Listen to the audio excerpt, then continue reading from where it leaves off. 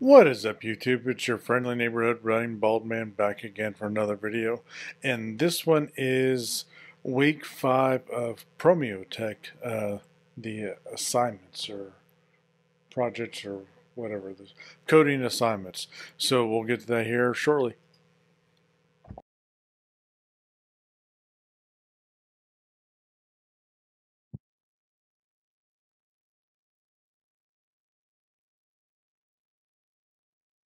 All right, we've got our week five Promineo Tech assignment.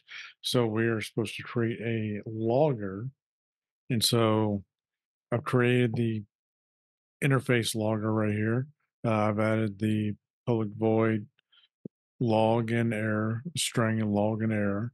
Uh, I then went and did a class of assignment logger uh, and implemented the implemented implemented the assignment logger.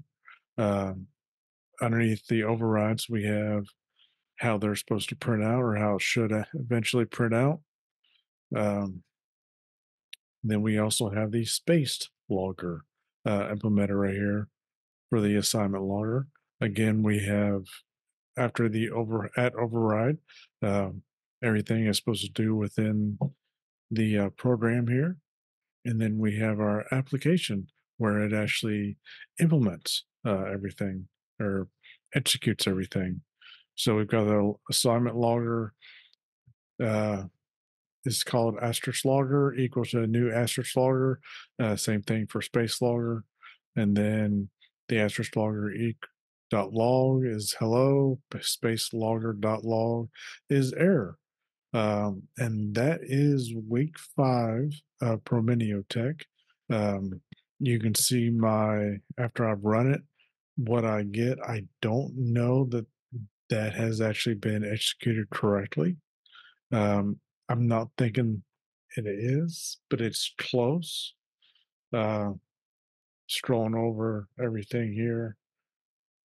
The error should be in front of that. I'm not exactly sure how to get that uh, proc like that. And then with the space logger, um, it's supposed to have hello or arrow, error, error, and then a colon with H-E-L-O and spaces in between all those letters. Um, I'm going to have to look around more and ask some more questions about that. Um, but I'm doing this a little bit late, so you'll have to forgive me there. Um, but yeah, that was the assignment logger for uh, week five Promineo Tech. All right, you guys have a good day.